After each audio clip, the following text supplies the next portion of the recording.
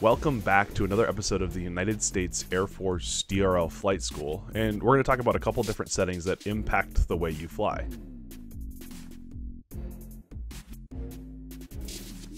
So camera tilt is really important, not just in sim flying, but also in real life flying. So because when the drone is flying forward, it has to tilt, right? Each of your four motors is independent, so it's just pushing forward.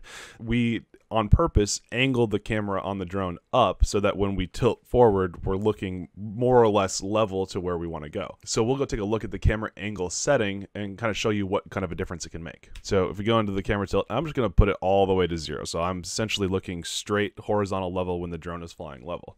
So now if I take off, everything is at the horizon, right? It's normal. But as soon as I give it any kind of forward momentum, I already can't see the sky in front of me. And I'm not even tilted more than 30, 35 degrees. So if I try to fly a course, I'm not going to be able to see what's in front of me. So now if we crank the camera tilt to the opposite end, we're not going to see the ground at all when we take off. So I'm going to launch in the air, and now I have no idea where I'm going. Uh, and I'm going to start turning forward. So now that the horizon's level, I'm at full throttle right now, and I'm still descending. So I'm going to crash into the ground. I like to split the difference and say about 50 degrees. That's where I feel comfortable flying. I can see a, a, little bit less of the ground when I'm flying straight and level, but it allows me to fly, I think, more at the edge of what the drone can do.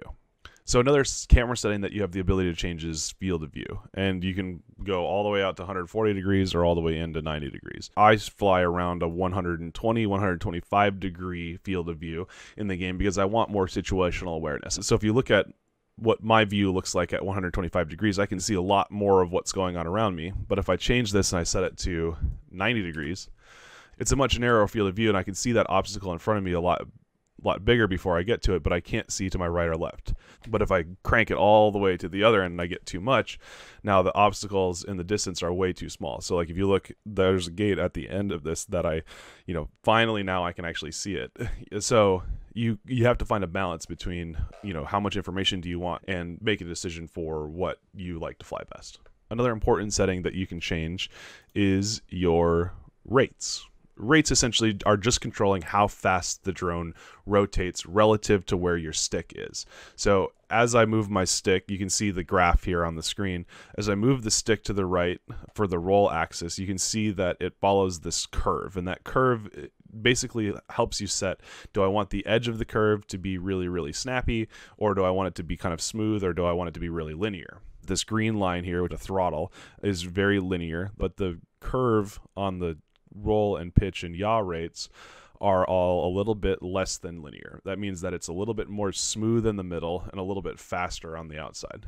So in order to give you a, demonstration of that, I'm going to crank the uh, pitch expo up to make it have a much deeper belly, and then I'm going to leave the roll expo the same. So as I roll the drone, and you can see that it's not spinning that fast and I keep going out and it's continuing to increase in rate but it's not increasing dramatically. So now if I push this the pitch forward, it's following roughly the same speed, but now as soon as I get here to like 60, the curve starts to go much more dramatically and the drone starts to just go like mad. so what you are doing is picking how that curve works based on how you want to fly. So some pilots like to have a really big exponential curve so that it smooths out their stick inputs in the middle. Others prefer to have it linear where as soon as they move the stick the drone is responding as fast as possible. For me, I like to have a little bit of a curve but relatively linear. I want it to respond as fast as I tell it to. You do not have to have your pitch and roll rates the same. You can link or unlink them however you prefer. I prefer to have them be the same. And then I usually have my yaw a little bit more linear and a little bit slower because I fly more with pitch and roll than I do with yaw.